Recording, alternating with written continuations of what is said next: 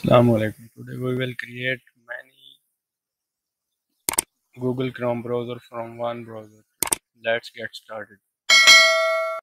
Open this tab from here. Click on this and then go to add new.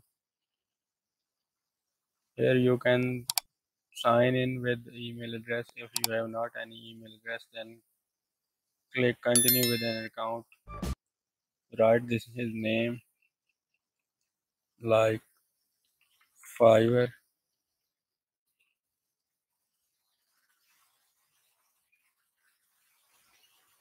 Then click done.